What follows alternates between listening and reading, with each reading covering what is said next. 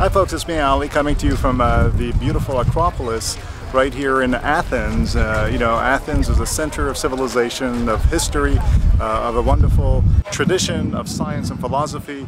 And I'm here visiting and, uh, you know, right now there's been a bunch of questions that were sent to me regarding a new article uh, about um, flossing, believe it or not, is uh, being under question now whether it's important or not.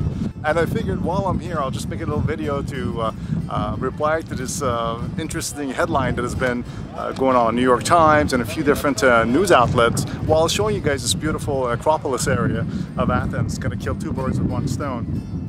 So let's go take a quick look around and see what we have. So much of the columns of this little um, uh, structure here that, that, few are missing in the endodontic research. Uh, what's happening is that lack a uh, robust number uh, in the type of science that is done in medicine in terms of the, the, the strength of the study and the power of the study statistical.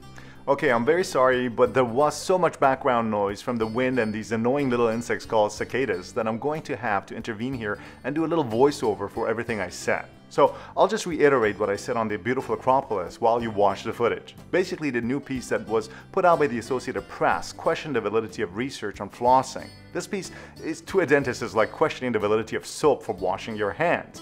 To make a long story short, I can tell you that the articles by Van der Weijden and the other periodontists on this subject focused on gingivitis and plaque removal, and the longest studies in this group were less than a year. So this is ludicrous because as an endodontist, I'm recommending flossing not to reduce gingivitis, but to reduce the rate of interproximal decay, which is a major cause of root canal infection and doesn't happen in a year, but a slow process that could take up to many decades. Now, let's just say that it's like the benefits of a healthy diet. Yes, you won't die from one meal full of Twinkies laced with high sugar and preservatives and deficient in all nutrients and vitamins, but over the years of having the same poor diet, I think we all agree that you'll be worse off than having a healthy balanced diet. Of course, until you hit a bus. So, Van der Weijden, who apparently hates flossing, goes on to say that he prefers a toothpick to flossing because of the convenience. Well, that's great.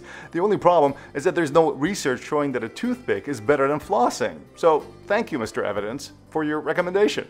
Look, this issue of lack of evidence for many things is really a cop-out to do the right thing. After all, there's very little scientific evidence for many common sense solutions that we have. For example, there is no controlled scientific studies to prove that wearing a parachute will actually reduce the rate of mortality while jumping out of a plane. It's just common sense. No one will take the example of this guy and try to make the point that you don't need a parachute, right? Now, the more important point is this. Can some people get away without flossing? Yes. Is some people's interproximal contacts open enough to allow toothbrushing to replace flossing? Yes. Do we know who these people are in advance and can we reliably pick them out of a population? No, we can't do that. And this is the problem we take something that may apply to some people and make a recommendation to all people. And as a result, many people are contaminated with this bad information and pay the price of this bad advice. Yes, as an endodontist, it would be an economically favorable recommendation to say don't floss. But as a conscientious human being in a patient-centered practice, I can't imagine doing that. So, do you have to floss all your teeth? Yes. But if you're really in a pinch or are too lazy to floss, only floss the teeth that you want to keep.